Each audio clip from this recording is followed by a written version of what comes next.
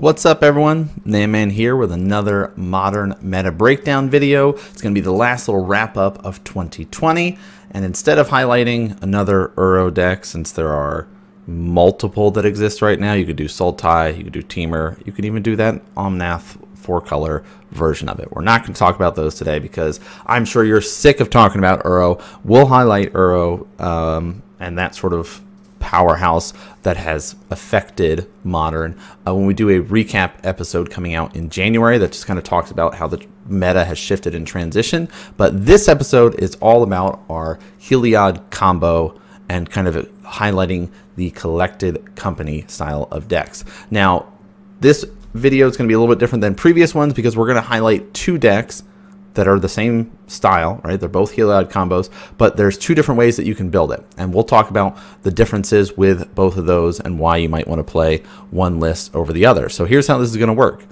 Down below, you can see just kind of wall of text as me talking about the different lists, which might seem overwhelming, but down below in the description, you can see a link to both of these lists so you can look at them yourself and kind of figure it out and follow along at home. I'm also going to be throwing up in the corners over here little bit of image slideshow that kind of highlights uh, the differences between the two. So over on this side, over here, are cards that exist in both lists. Um, just common cards. They're powerful. They make a lot of sense. Reasons why they're in there, we'll talk about those. And the cards over here, those are the ones that are unique per list.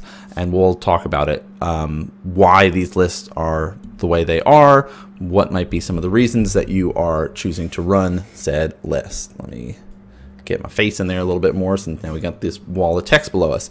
Um, so the Coco style of decks have progressed and changed over the years. We've highlighted it if you followed the channel and seen some of the other videos that we've done. We've kind of seen the progression and the change of these creature-based combo strategies um, that exist in Modern. If you have played on Arena or Standard, then you know you're familiar with Heliod, right? He is kind of that life gain, super powerful um, god creature that exists, legendary enchantment, so he's indestructible, um, and he's kind of got the ability to turn from an enchantment into a creature if you have enough white devotion. You need five in order to switch him on and turn him into a 5-5 creature. But the abilities that he has on it is really the important thing. We don't really care so much about him turning into a creature with this type of deck. It's all about the payoff that he can provide.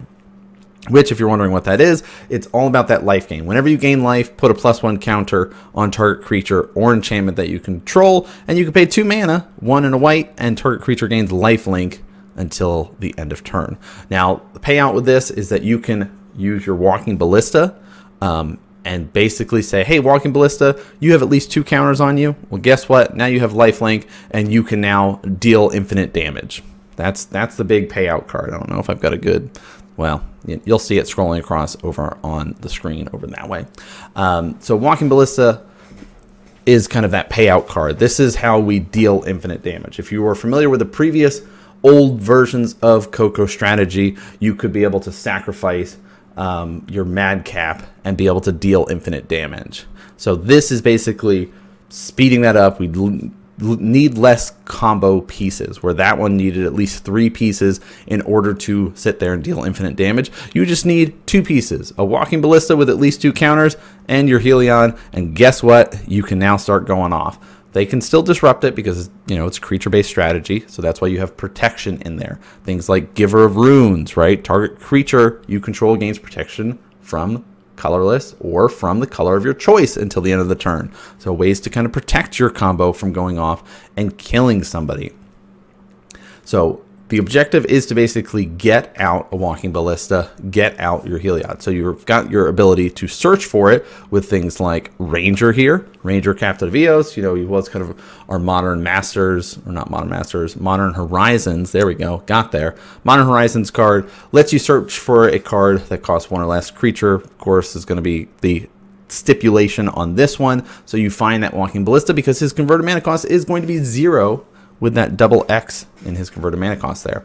Um, and then it's also got this nice added bonuses. You can sacrifice it, and your opponent can't cast non-creature spells this turn. So if you're worried about your combo, guess what? You can protect it from non-creatures. So that's a nice little upside uh, to mess with your opponents there. So objective, get Walking Ballista out, get Heliod out, combo off, win. So you need the setup of saying, I should play a Heliod first, play Walking Ballista for two mana. So that means you're going to have to dump at least four into it and have two left over to be able to combo off. So it might be a turn after that, right? So you got to be worried about how that setup's going to go. Um, but it's easily manageable and doable based on how things go. With this list that I'm highlighting right now he, over here on the right, you can see kind of the difference uh, that we're talking about is the way that these strategies ramp and the way that they're paying out. Both of these lists are going to be using the walking ballistas. This second list that I'm kind of scrolling across here has Giver of Runes like the first one, right? It's got our, our Ranger, it's got our Skyclave apparition here, this new fangled powerhouse that we're seeing in white decks. Um, it's that banishing priest. I can get out there, I can exile something, and then if my Skyclave leaves, then you get a token in response to it. The benefit of this one is you get to exile a non-land, non-token permanent uh, with converted mana cost four or less. So not just creatures. That's why this is important. You can get rid of enchantments. You can get rid of artifact. Oh wait, did it say non-enchantment? No, it just said non-token. I was like, wait a minute, did I misspeak the whole time? No. So non-token, non-land. So that's planeswalkers, enchantments, artifacts, creatures. Lots of things that you are wanting to get rid of to help protect you. So both of these lists are running. This list over here on the right is running a few more not that big a deal. It's important to be having these and running these in these sort of green white strategies that are existing for this sort of COCO or collected company style of decks. So protection, that's kind of where that falls in. Uh, same thing with kind of what our Giver of Runes is. It's, it falls into that protection category uh, of cards here. Now we've got our sort of go wide abilities that exist, right? Things like our Luminarch aspirant here. He's our cleric that on this list, he's just going to give things plus one counters. So if you have this and you say, you know what? I now only need to have two mana dedicated to Walking Ballista and have two mana left over for my Heliod. If you have this lovely cleric hanging out on the battlefield. So you pay two mana, Walking Ballista comes out with a one counter on it. Guess what? Luminarch's hanging out here. Cleric says, hey, guess what? Here's another plus one counter for my Walking Ballista. Then I will pay two mana off of my Heliod, and now my Walking Ballista can go to town, remove this one counter to deal one damage to you. Oh, but I have lifelink, so I'll gain a life, and now I'll add a plus one counter back onto Walking Ballista. Rinse and repeat, continue on until I deal infinite damage to you and gain infinite life. So just added in an, a nice little speed up to the progress and kind of kicks things up into a little bit of a higher gear uh, by adding this into this version of the list. Um, so it's a very much combo out, quick style of play for this one. Um, we'll talk about Conclave Mentor real quick because it is in both lists.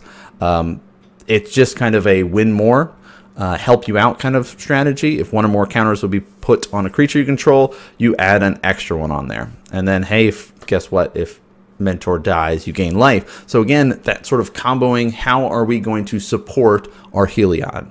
And this is another addition to that. Speed things up, right? Gain life, more counters. Yes, yes, yes. I want to be doing all those things.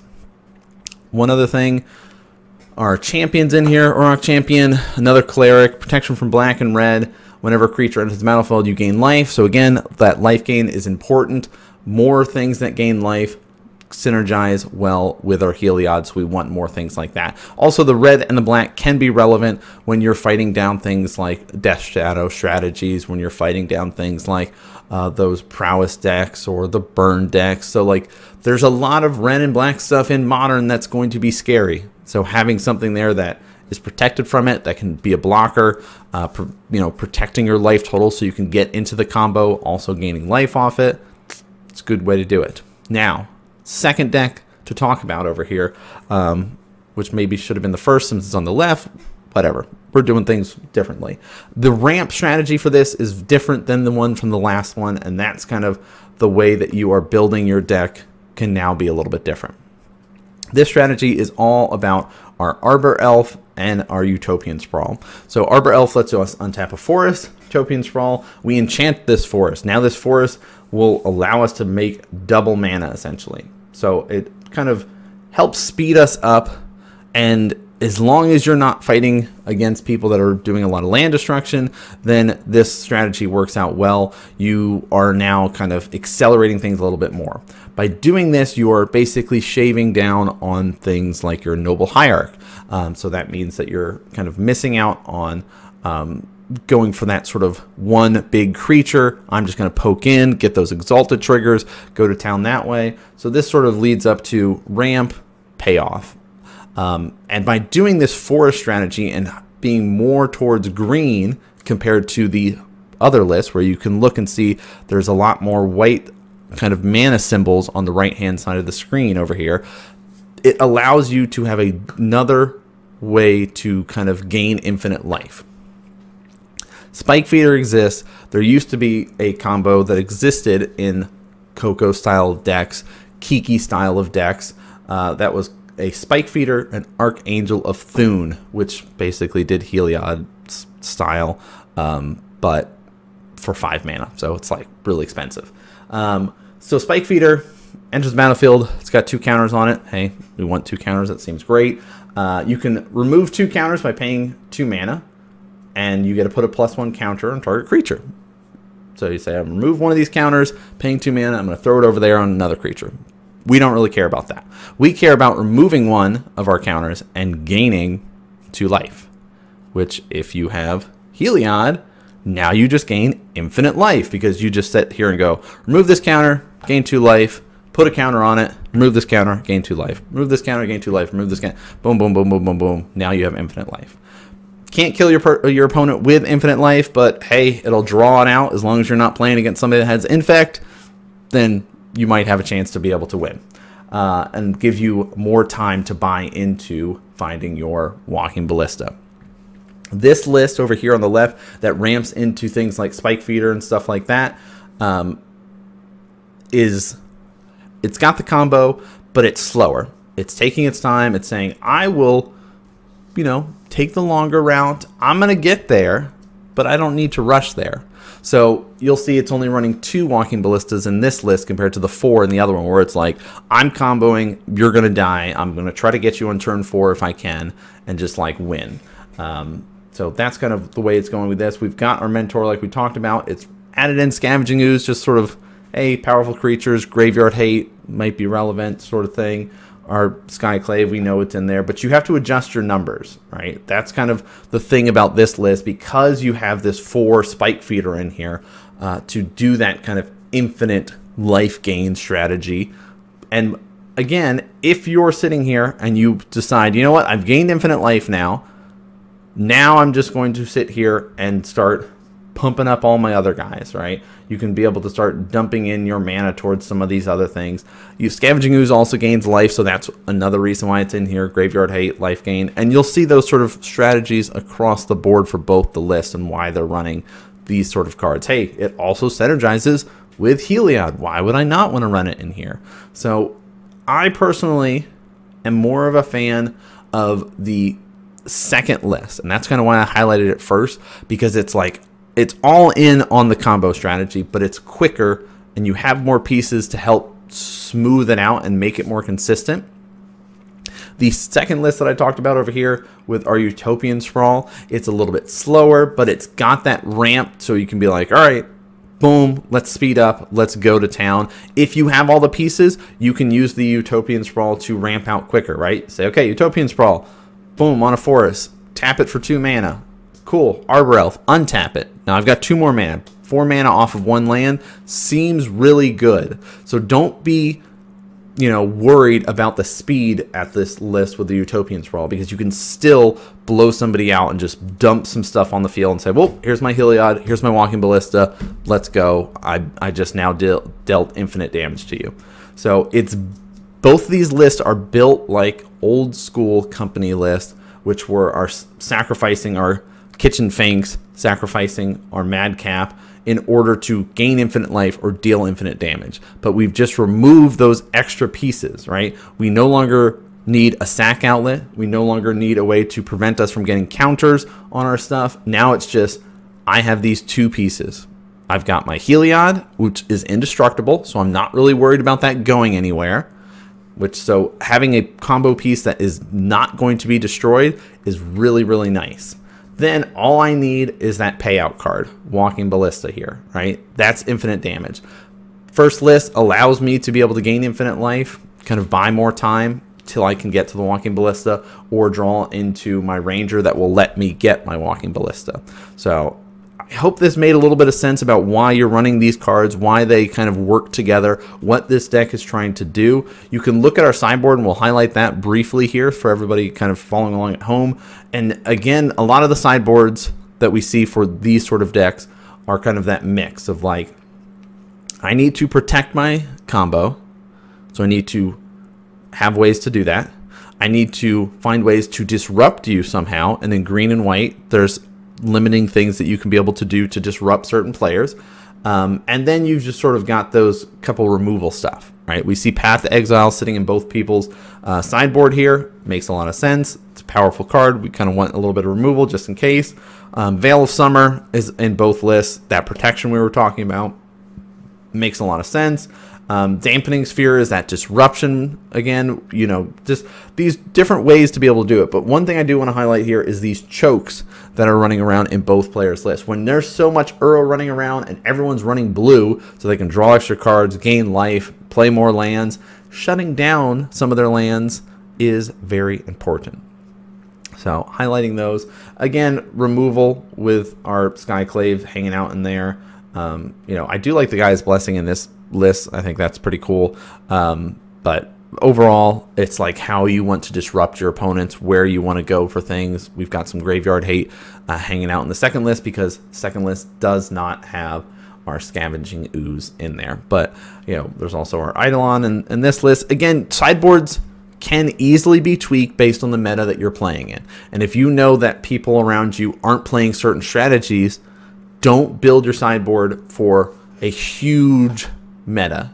If you're not going to a big tournament, you don't need something like a let's say a Gaea's blessing or something like that, right? You don't need that in your list. All right, you can decide, oh, I don't need that. If you know there's no graveyard based strategies at your shop, nobody's playing control, no one's got Snapcaster mages, no one's playing dredge, right? No one's doing anything in their graveyard. Maybe I don't need the lantern. Maybe I can be able to sneak in something else, right? And so you can adjust your, your strategies accordingly. But I hope that was at least a good breakdown for people about those two lists. Um, and why they work the way they work, why you might want to play one over the other. I mean, here's the images up at the top for you guys to kind of keep an eye out and look at. Again, the links to both the deck lists are going to be in the description down below. Um, if you're wondering, we still got kind of podcast stuff coming out. Um, there's going to be more modern um, content coming out over the new year. We'll kind of do a, a wrap up of what 2020 was like for the meta. So you guys can be able to kind of get an idea of what has happened how things have changed what decks have adjusted risen or fallen over the kind of the course of the year there. But if you like the content please consider hitting that subscribe button following along to the channel and other sort of cool stuff that we've got going on. But that's going to do it for this episode guys. Thanks for watching and i'll see you guys next game. Hey everyone. Nanman here I'm a StarCraft 2 and Magic the Gathering content maker and commentator. This channel is going to be dedicated to all things Magic the Gathering. You can expect monthly videos about the modern meta. You can also be able to see Magic the Gathering stuff online, MTG Arena, as well as vlogs and other different styles of Magic content, in addition to our commentary that we do of the modern scene. So make sure you guys are hitting that follow button to see when we go live next.